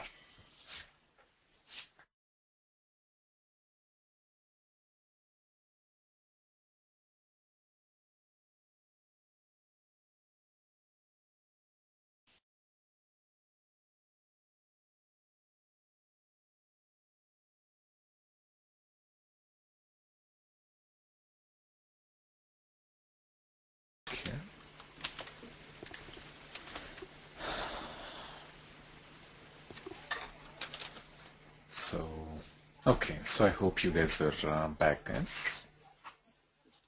Can you quickly type in if you guys are back, uh, folks? Okay, great. Thank you, guys. Appreciate that. And uh, thank you. Nikhil says Hadoop is predefined package for analysis of huge amount of data. Acceptable. That's a that's an acceptable uh, way of uh, uh, saying it, Nikhil. Okay. And thank you guys for coming back. So we'll move on here guys. Okay, so what is it uh, Hadoop is doing guys? Hadoop is providing us a framework of tools guys. Okay, what is the framework of tools? Well, if you remember, it is it has one brain guys. The brain we called it as HDFS guys. We'll talk a little bit more about it in the coming up sessions. But if you remember, in a first session in our thing, you know, Hadoop has a brain that is the HDFS guys. Okay, and What is HDFS guys? Well, it's a group of computers together. They act as if they're one computer guys, okay? Remember our apartment. In our apartment, uh, imagine an apartment building where you have a ground floor. Let's say there are about 10 ground floor apartments guys, okay? Each of the ground floor apartment, if there is a chair in one apartment, you cannot see from the other apartment. But let's say you have a first floor on top of all these 10 apartments and this in this first floor guys, there are no walls there is only one apartment over the top of all these 10 apartments. What is that? Well, that's a group of apartments which together, it, it acts like as if it's one apartment, right? That's your HDFS. HDFS is a layer above your group of computers, guys, okay? And, uh, and it is also called the brain. Why? In our brain, we store the thoughts, guys. In HDFS, what do you store? You, you store different kinds of data, okay? So that could be in any variety variety of data. So that's the why it could be audio it could be video it could be text and it could be log files and so on guys. That is you store different kinds of data guys okay? So what do you do with that? Well you go ahead and process the data. How do you process the data? Well imagine if data is like our thoughts in our brain then how do we analyze our thoughts? Well we have our heart guys. What is that? That's the MapReduce the heart of Hadoop is MapReduce guys okay? And what does MapReduce do? MapReduce will allow you to go ahead and analyze the data. Analyze the data in uh, HDFS okay? But there's a problem with MapReduce guys. What is that? You need to be an expert in Java. You need to be an expert in MapReduce guys okay? So what do we have? We have two eyes guys. What are the eyes? Well we have Hive Hive is one of the eyes okay? So what is Hive let's go ahead and what does Hive do? And select that. Hive it will take simple. SQL-like commands as input. SQL-like commands as input. Let me go and put that there. So it will take that as input. It will convert them to Java MapReduce programs and it will run on HDFS okay? So in other words, what is Hive? Hive is one of the keys to your car. What happens inside your car? There's a lot of uh, complex things happening, okay? Uh, what is Hive doing? Hive is hiding it. What do you do to drive your car? You use Hive, okay? One tool. Another tool, there's Pig, guys. What does Pig do? Pig. Go here. Pig will take simple English-like commands as input, guys. Let me go down see if I can put it there. It will take English like scripting statements as input. Select that go there. And it will take the English like statements as input. It will convert them to Java MapReduce programs and analyze the data on HDFS that's another key to your uh, car called Hadoop guys okay? So what is happening? You do not have to be an expert in MapReduce and you do not have to be an expert in HDFS but as software engineers, we try to understand and learn the concepts of these things to use Hive and Pig, guys, okay? And Hadoop also has a stomach, guys. What is the stomach? Well, in, in our stomach, we store the data, right? I'm sorry, in our stomach, we store the food, okay? Before we store our food, we go ahead and chew it. In other words, we modify our food and then we go ahead and store it in our stomach. That's what HBase does, guys, okay? What is HBase? HBase is a database of Hadoop. Hadoop is not a database. What is Hadoop? Hadoop is a distributed file system. What's a distributed file system? It's a group of computers. Together they act as if they're one computer, guys. Okay. What will HBase allow you? HBase will allow you to modify the data on HDFS. What will Hive and Pig allow you? Hive and Pig will allow you to analyze the data. With our eyes we analyze. With our stomach we so modify and store the data. So that's why HBase is called the database of Hadoop, guys. And what's happening in today's world is there are lots of databases in every company guys. You have a MySQL server you have a Oracle database and you have a SQL server database and many other next generation warehouse databases and things like that guys okay? So what are all these things? Well these many times what companies would like to do is they would like to get the data save the data from the database into Hadoop. Okay, let's go down, say, select that. I would like to save the database in uh, data from database into Hadoop guys okay? How do you do that? Well that's where comes in another tool. What is that? That's Sqoop. Let's come here come here. That's Sqoop guys okay? What will Sqoop do? Sqoop will allow us to transfer the data from any database into Hadoop. Most of the databases have the support for uh, Sqoop guys. Okay they will transfer structured data. Remember data inside your database is structured data guys. Okay because you know the schema. If you have a table you know the parent child relationship and so on right? So that is why it is referred as structured data. And Sqoop will transfer structured data into database that is called importing. You can also take the data and transfer it back to different databases guys. That is called exporting okay so the data transfer of structured data is done by Sqoop okay? But what's happening today? There's a new database guys. That's the internet and the application logs okay? Your databases are rivers. These are the rivers. That's the oceans and the seas guys okay? What what are we doing? Well we can also get the data from here and save it to HDFS then you can use Hive and Pig to go ahead and analyze the data guys okay? Now how do you get the data? Well that's where it comes in Flume Let's go and type in there. Select that. On the servers and save it on HDFS. That data is used by Hive and Pig to analyze guys. Okay. Apart from that, we also have another tool. Okay, that's called Oozie guys. Okay, in real world, what happens is many times you will go ahead and work on all this different kinds of tools guys okay? Say Oozie what we do after that is we will go ahead and we will not run them individually. We will schedule them. In other words I will run some scripts in Hive get the output give it as input to Pig I may write some scripts get some output give it as input to Sqoop then I will go ahead and transfer them to any of these databases okay? So how do you schedule them one after one? That's where comes in Oozie guys okay also we also have another tool guys. What is that? Well that's our latest tool which is spark.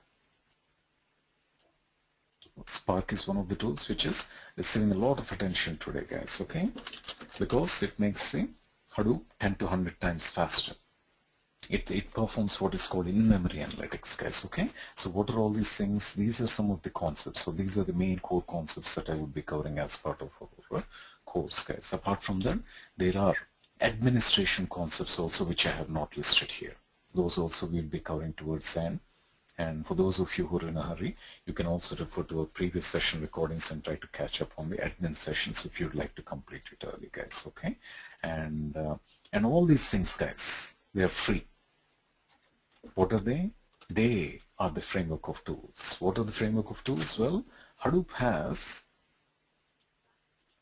one brain, one heart, two eyes, one stomach, a tool to transfer structured data, a tool to transfer unstructured data, a workflow scheduling tool, and an in-memory analytics tool. This is Hadoop guys, okay? It provides us a framework of tools. They help us run applications on big data. What do they do?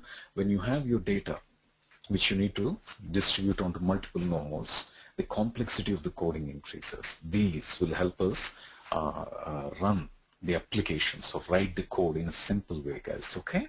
And they're free. They're open, open source, so you can go ahead and look at the source if you'd like to. That's what it is, guys, okay? So am I making sense, guys? Here's a question from Bikash, guys, okay? He says, is Tez going to replace MapReduce? No.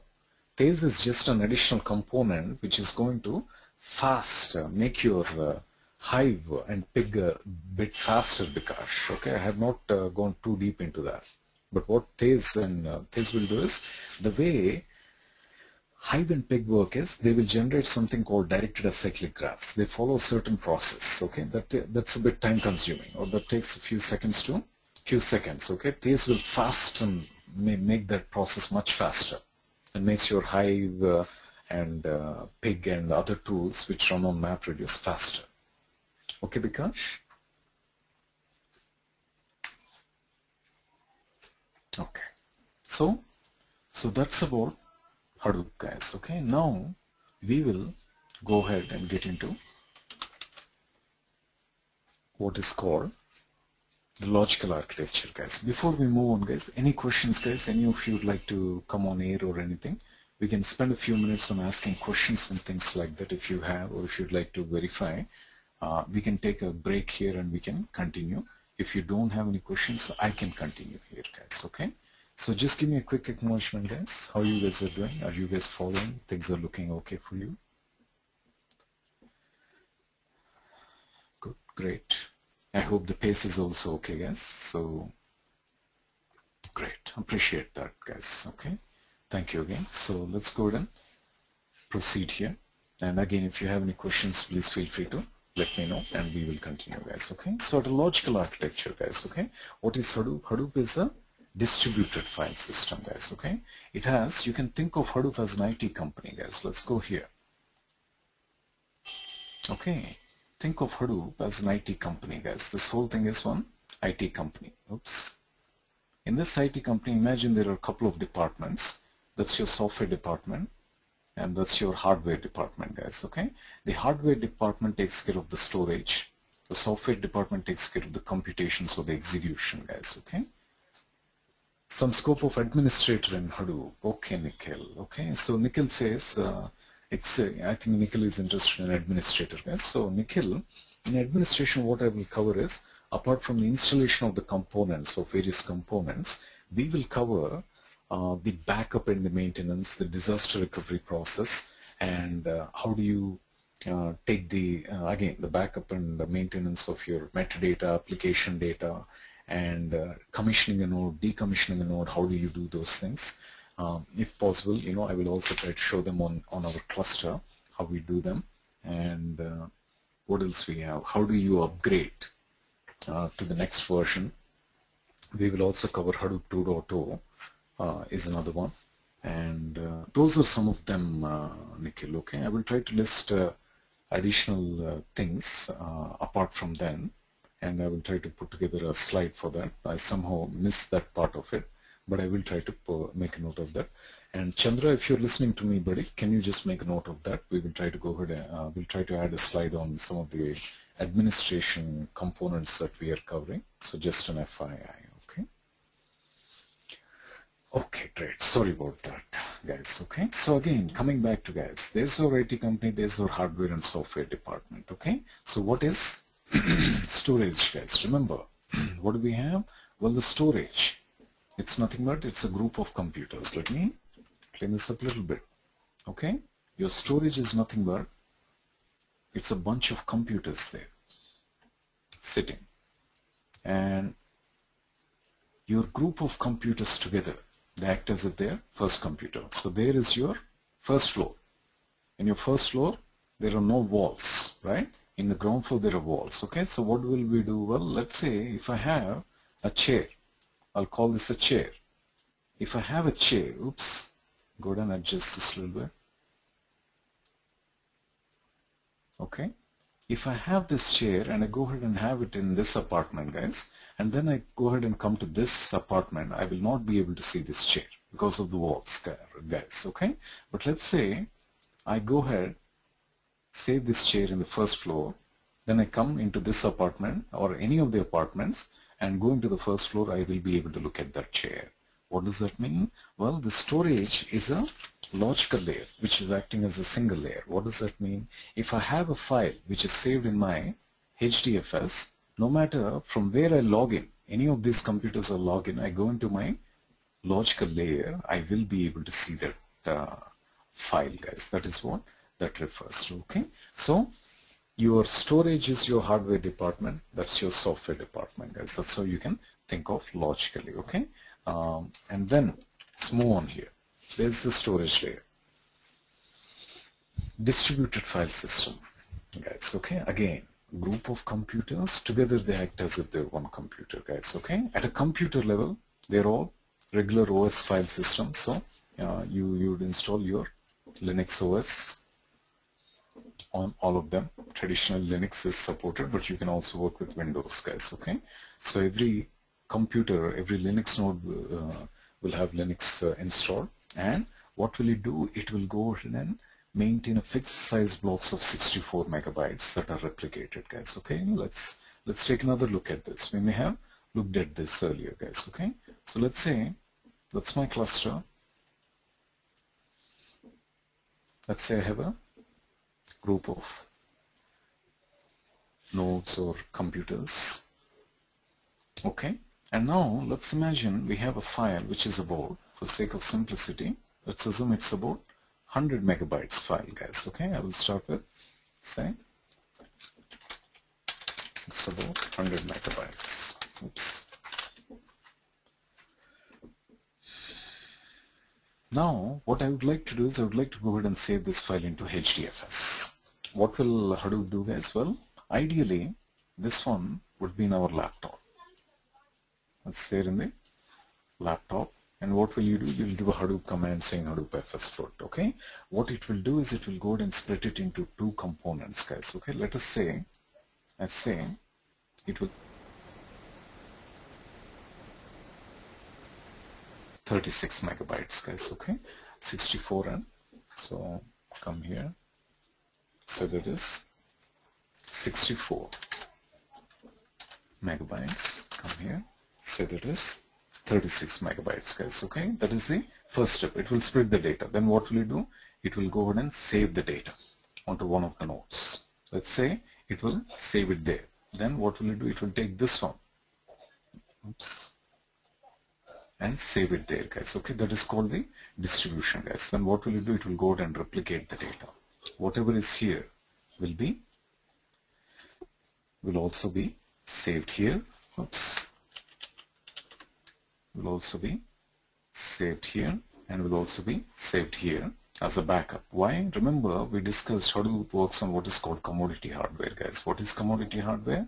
At any point of time, they can go down.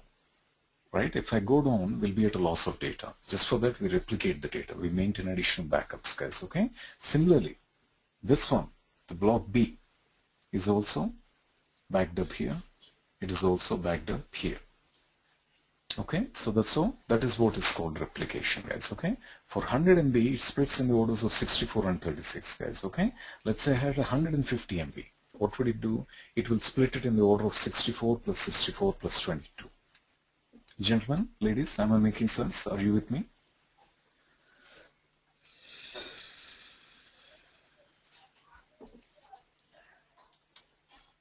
Great. Thank you guys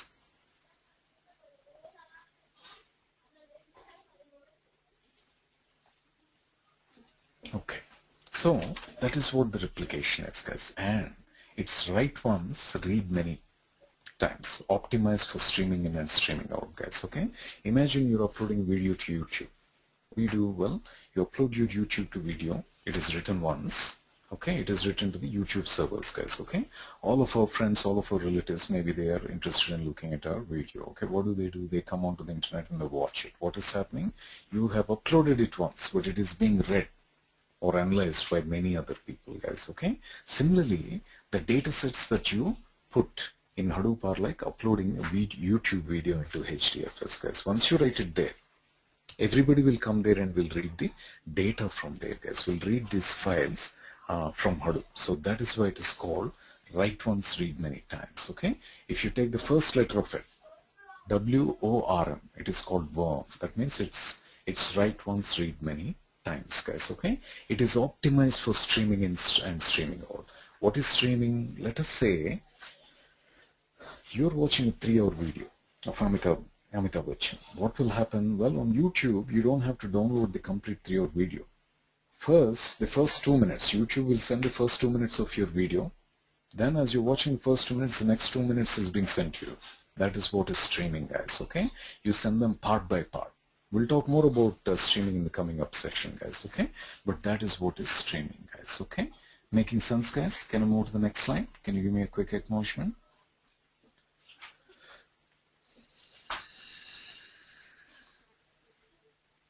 Cool? Okay.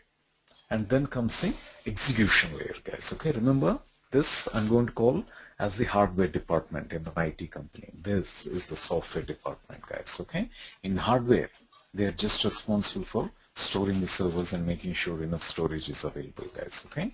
In software your actual execution is taking place. That's where you write your programs. In your software department you write your programs guys okay? So that's why we call MapReduce as the execution layer where the actual execution takes place and it is being tracked monitored and things like that guys okay?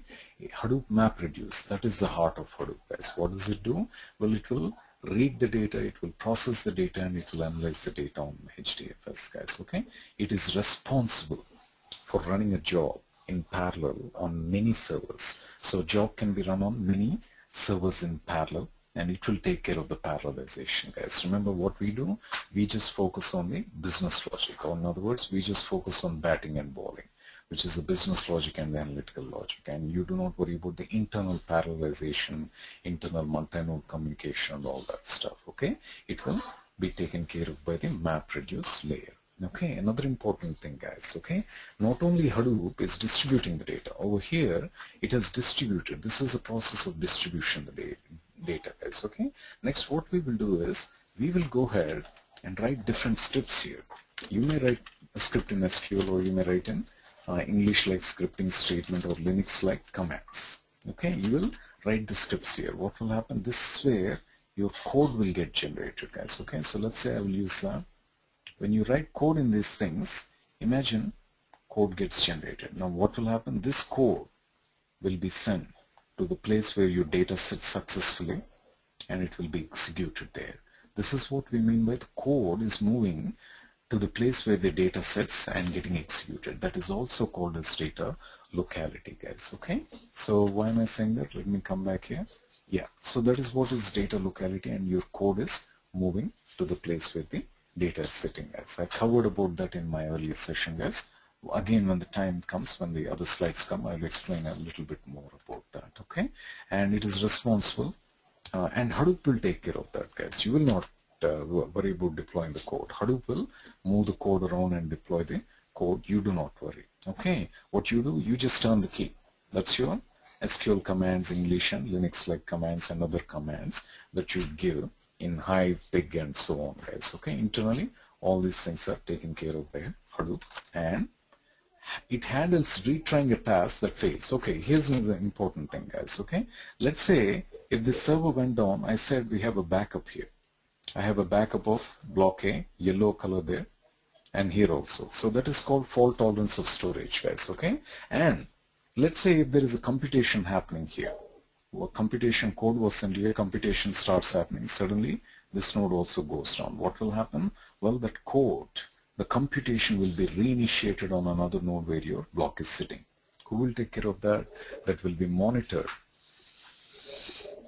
and taken care of by Hadoop guys. We don't worry about it. In other words, that is called fault tolerance of computation.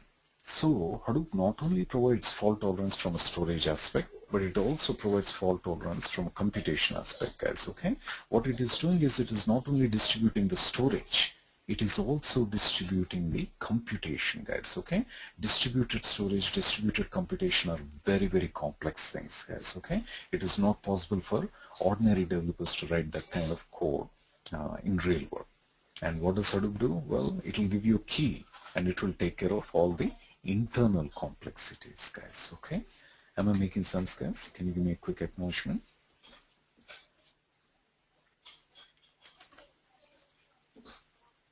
Cool. Okay. Great. Thank you guys. So jobs consist of special map and reduce operations guys okay? Map and reduce is like your batting and bowling that's where you write your business logic and your analytical logic guys okay? We'll talk more about that. But for now as a cricket player you just focus on batting and bowling. You don't worry about cleaning the stadium and cleaning the chairs and things like that. Who takes care of that? That's Hadoop. Your Hadoop gives you a stadium where you can just right away come and do the batting and the bowling guys okay? So again what we are showing here is Hadoop if you give it some data what it will do is it will split your data into many small pieces. Then it will move the computation to the place where the data sits guys okay? So as I explained here once we distribute our data you go and do a little bit of cleanup here? Get rid of that. Get rid of that, get rid of that, okay? Once we distribute our data, our code, we write our scripts in the form of these things, guys. So using Hive, Pig, and things like that, the code is generated and the code will move to the place where your data sits. It will execute in parallel. The process of moving the code to the data place where the data sits is called as data locality, guys. That is what we mean by moving the computation to the data, okay? And why Hadoop? Well, why Hadoop, guys? Well, virtual execution and storage span many nodes. In other words, when our computation is happening uh, in multiple nodes, guys, that is referred as distributed computation. It is it is not easy to do this kind of distributed computation, guys. Okay, Hadoop or the MapReduce framework will take care of the distributed computation. Uh, your computation, which is ha happening across multiple nodes, Hadoop uh, MapReduce will manage will allow you to treat it as a single computation which is happening on a single computer guys. That is what we mean by virtual execution okay? And it scales linearly with cores and disks guys. What does that mean? Well let's say if one node okay if I just had a single node and if I were to do the processing it would take 10 hours right? If I were to use 10 nodes, it will take in one hour. It will complete in one hour, guys. Okay. So in other words, as you increase the number of nodes, that is called horizontal scalability. Okay. Your processing power will increase and your computation time will decrease, guys. Okay. That is what is the uh, horizontal scalability, and that is again provided by Hadoop. What do you do? You just add the nodes. You just install Hadoop. Make sure the settings are correct and so on. How do you uh, do that we will talk about that later guys okay? It is reliable. Why are we saying it is reliable guys? Because it uses commodity hardware. In commodity hardware it can go down anytime. What are we doing? We're backing up. I back up the data there I back up the data there. Why? If this goes down I'm still reliable. My application is down I'm not stopping the entire company and not making a worrying about that but I'm still continuing to run that is what we mean by reliability, guys. How does it achieve? By replication.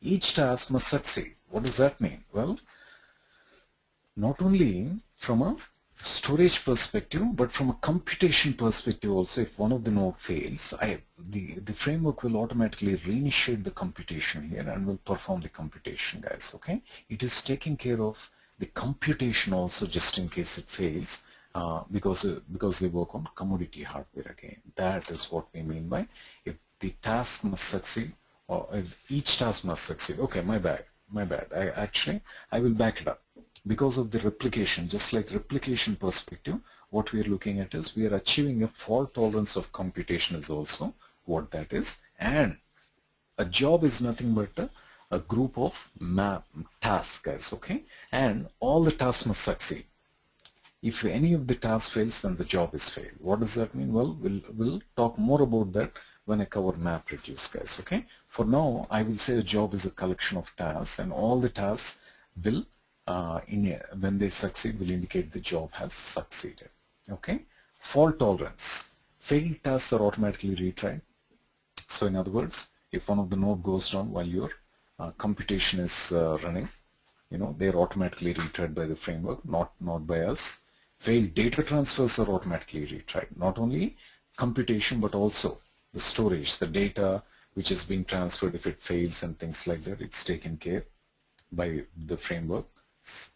Servers can join and leave the cluster at any time. In other words, if you have a 10 node or 100 node cluster, because we're using commodity hardware, you can add them at runtime. You can add these uh, nodes at runtime. You can also remove them at uh, runtime if you think some of the data is getting corrupted or some of the nodes are affecting the other nodes guys. That is what the fault tolerance is about okay? Moving on. It is simple guys. On the whole what is it doing? The distributed storage and the distributed execution it is reducing the complexity from a user standpoint. Developers do not need to worry about how the stadium is. They just need to focus on batting and bowling okay? What is that? Well that is your business logic and the analytical logic guys. In other words it will reduce the complexity it will allow us to focus on what we like and what we would what the company has hired us for. They want to they want us to go ahead and write their analytical logic and things like that not worry about the internal operating system concepts or the framework level concepts guys. Okay that's what we mean by it reduces complexity. And conceptual operating system that spans multiple CPUs and disks, guys. In other words, a bunch of computers, bunch of nodes together, they act as if they're one computer from a storage standpoint and also from an execution standpoint, guys. Okay, that's what Hadoop is taking care of and that's why we are using Hadoop. Why? It is simple, guys. That is what it is, short and sweet. Cool. And here is the last slide. Just a quick review of what we discussed, guys. Some of the main characteristics of Hadoop from a developer standpoint, guys. Okay, what do we have? Well, let's have a look at that. Cool. It is accessible, guys. All right. So choose that. It is accessible. It can run on large clusters of commodity machines or on cloud also it can run. And it is robust, guys. It is architected with the assumption of frequent hardware malfunctions. It can gracefully handle such mm, failures guys why why is it architected with the assumption of frequent hardware malfunctions guys because number one we use commodity hardware. Why do we use commodity hardware? To bring down the costs. If you go back to your Airtel office you don't have to uh, hire 10 PhD guys. You can hire 10 degree guys and get the same task done right? So that is why uh, that will reduce the cost, that will increase the processing power and uh, reduce the computation time. Yes, we can do more work in less time by using more resources. So that's why we say it as robust. It is scalable, guys, okay? It scales linearly to handle large data by adding more nodes on the cluster.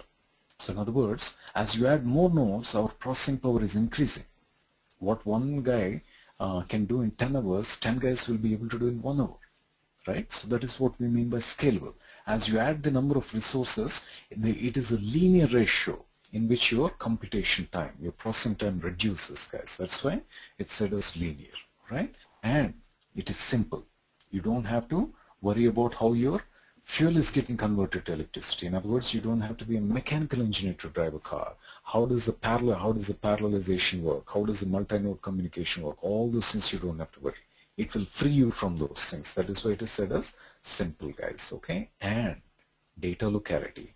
What happens? Once we store the data in Hadoop, we write our scripts. Whether you use one node, 10 node, 100 nodes or 1000 nodes, the framework will take care of moving the code to the place where the data sits. That is called data locality guys. It is called one of the fundamental design principles of Hadoop. Okay? And replication guys uses replication across servers to deal with unreliable storage of servers. What are unreliable storage and servers? Our commodity hardware. The only thing is they, they do not guarantee us the uptime and the reliability. They can fail anytime. So what do we do? We replicate the data guys. Okay, what are these things? These are the characteristics from a developer standpoint, all right? And then comes the adoption drivers. What is adoption drivers? Well, these from a company standpoint why they would like to use Hadoop. Business drivers, bigger the data, higher the value. Remember my earlier example guys? If I were to tell you Sachin hit a century and I would ask you, tell me if he's going to hit another century tomorrow, it's going to be tough to say guys, okay? But if I were to tell you Sachin hit two straight centuries and he's getting ready to play a game tomorrow, we hit a century, well, it will be slightly easier, guys, okay? Because we, we might feel slightly confident. But here's the magic, guys. If I tell you Sachin hit straight nine centuries and he's playing the 10th game tomorrow, logically, if you think from a common stand, common man standpoint, you know, you'll be very, very confident. What is that? The more the data you know, the more you know, the more the value, the more the possibility and more the probability, guys. That's what we mean by bigger the data, higher the value what are companies doing? If they have their 10 years of data or 15 years of data, right, they will at most take one, two, or maybe five years of data, get it into a database or data warehouse and run the reports. What does that mean? They will throw away their five to uh, previous five to 10 years of data or more than that. What does that mean? Less the possibility, lesser the probability that they get all that. Okay, what does Hadoop present? Well, if you have any data, do not throw it. Keep it if not today, tomorrow you will find some very, very useful insights. That is what is the value, guys. Okay? And it uses commodity hardware. What happens? Your costs come down, guys. Okay? Every company you know, in the world today, almost, almost in every company wants to bring down their costs, okay? And analytic solutions are very, very expensive, guys, okay? What's happening? Commodity hardware reduces the cost, plus it is free. Hadoop is free. What will happen? Low cost per terabyte, guys, okay? So, and, and another important, guys, okay, one of the most important things, the technical drivers. Existing systems undergo, undergoing requirements of 3Vs are failing what does that mean? What that means is as your volume, velocity and variety is increasing guys, the complexity of the applications is increasing. It is, it is not possible to get that kind of resources who are able to handle that kind of complexity and, and, uh, and work with them. What does Hadoop do? Well, it will simplify that. You don't have to worry about these three V's, okay? As your three V's grow, you know, your complexity will not grow. It will not change. It will remain the same.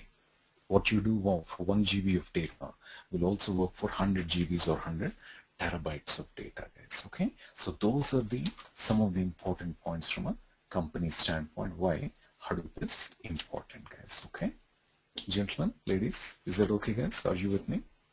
I think we are almost at the end of our session for today guys so we will continue from the uh, next slide uh, tomorrow and we'll try to uh, focus on that guys okay any questions, guys?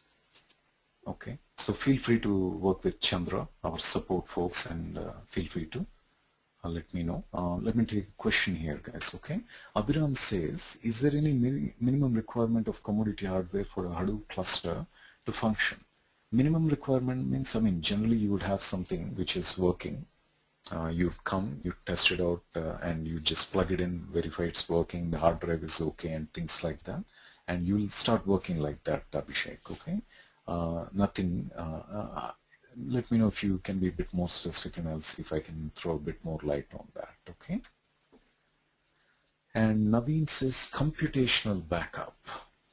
Oh, what I mean by computational backup is, Naveen, I do not know if you were there earlier, when our code moves to uh, the different nodes where the data sits, right? if on one of the node the computation fails, okay, let me put it like this. In your Airtel office, I don't know if you were there when I was explaining Naveen, but in my Airtel office, let's say you have 10 degree guys who are working on you know, helping the customers. If one of the degree guys leaves the office, the other nine can continue and you can find you can get another 10th guy and replace him as a backup. What, uh, what is happening? We are providing a backup from a processing standpoint. We are not putting our entire Airtel office on hold because one of the guys left, right? So that is one way to look at it. But again, short and sweet, when computation is happening on different blocks of data, Naveen, if on one of the nodes the computation fails, automatically the MapReduce framework, okay, will pick it up, will detect that and reinitiate the computation on the other nodes where you have a replica of the data. Am I making sense, Naveen? Okay, great. Okay, thank you, buddy. And here's a question from Abhishek. He says, I'm a non-CS guy and not able to understand few terminologies used here. Should I continue with the course? Okay. What you can do is you can hang in for one or two days more, Abhishek. You can see if you uh, if you can uh, continue, if you if I'm able to answer your questions and things like that. What I would suggest is many of the people who are not in you know very technical oriented fields are also getting into Hadoop. Okay. So you can definitely consider giving a look at it and it is something which will be useful. So what you can do is when you come across those terms, right, make a note of them, put them on your questions window.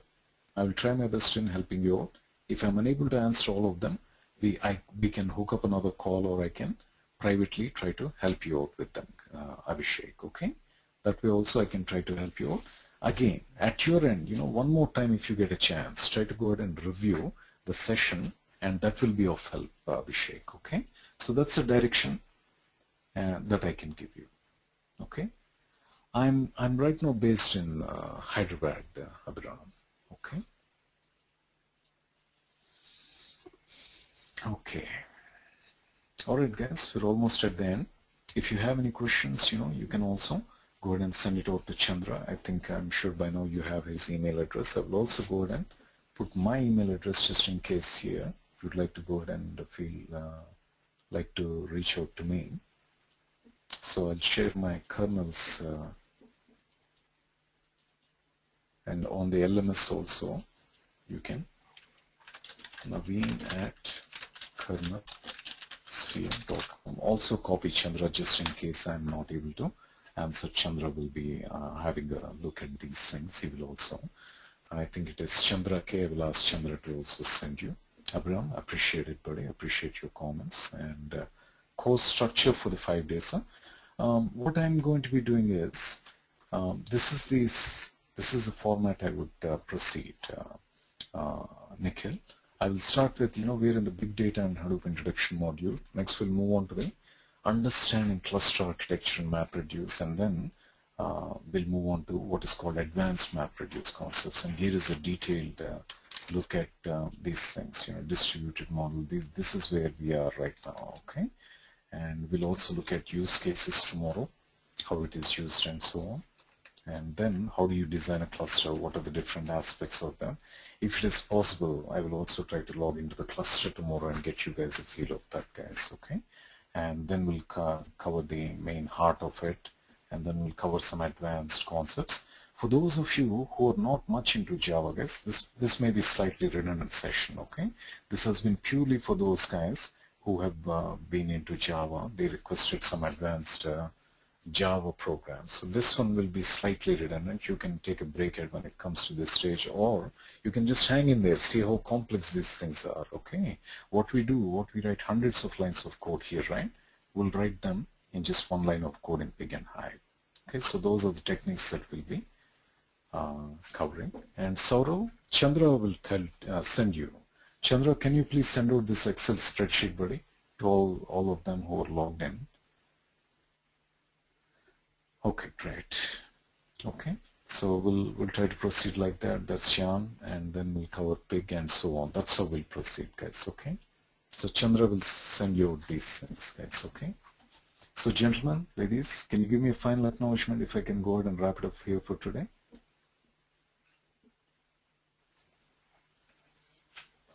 Okay, great. I appreciate it, guys. I hope this was useful and uh, I appreciate your time. I look forward to meeting you tomorrow.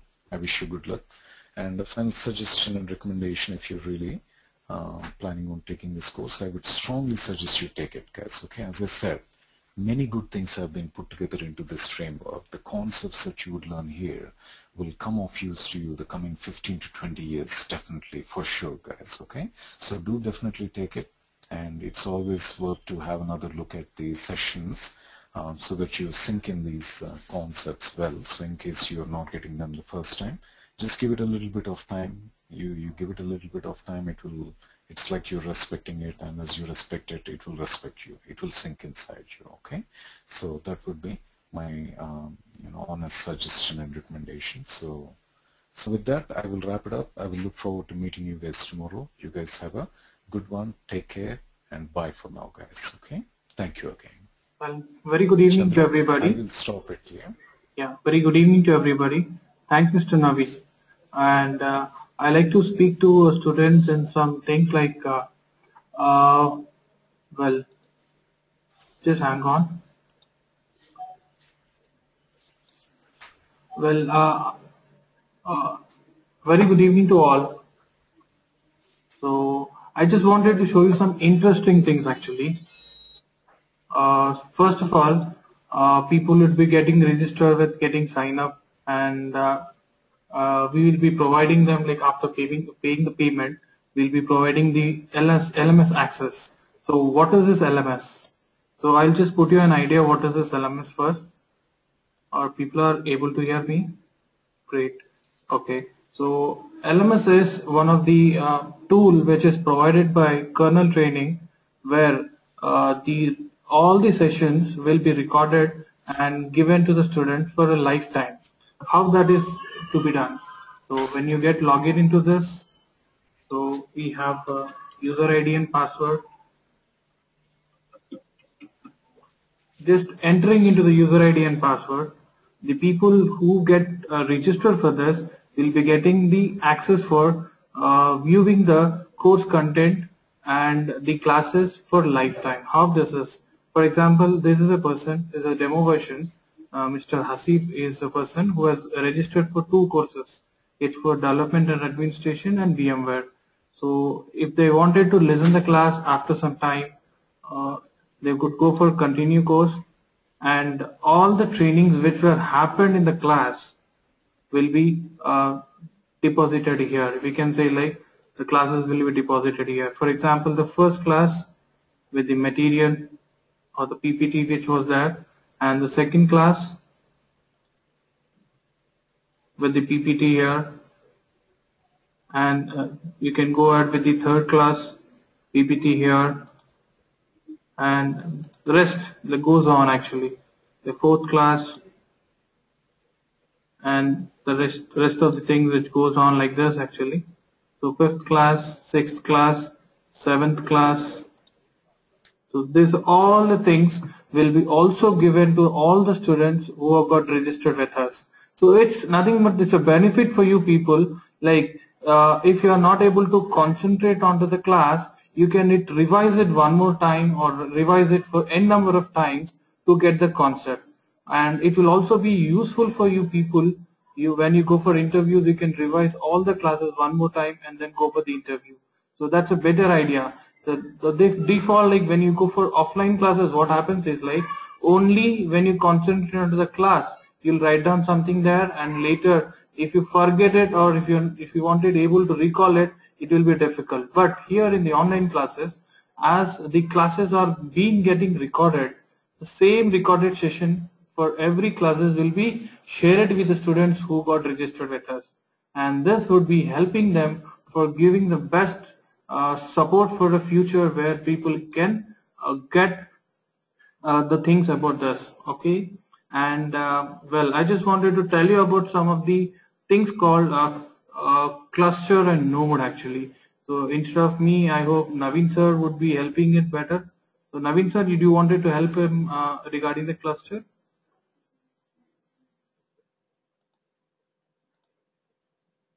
Okay, well, uh, I just Oops, wanted to. Sorry about that, Chandra. I was on mute. Um, uh, so, gentlemen, ladies, we will be setting up a 20 node cluster and we will be giving a VPN access and uh, once you work on that that will be uh, kind of a very useful thing for you from a real world standpoint uh, for you to get some experiencing and get a feel of that uh, okay so it's like playing cricket uh, on nets versus playing cricket in a stadium um, so if you work on a single VM, it's like you're practicing cricket in a single uh, nets. Whereas once you have a, once you go and play the cricket in the stadium, you're ready to play play the cricket in an international uh, stadium. So that is what the cluster will help you and once you register in, the, in about a week's time a few formalities we need to complete once that is done you will be able to uh, see the things on the cluster if possible tomorrow I will try to give you a feel of the cluster uh, guys okay thank you Chandra thank you thank you Mr. Navi and uh, well so our kernel training is in having our own data center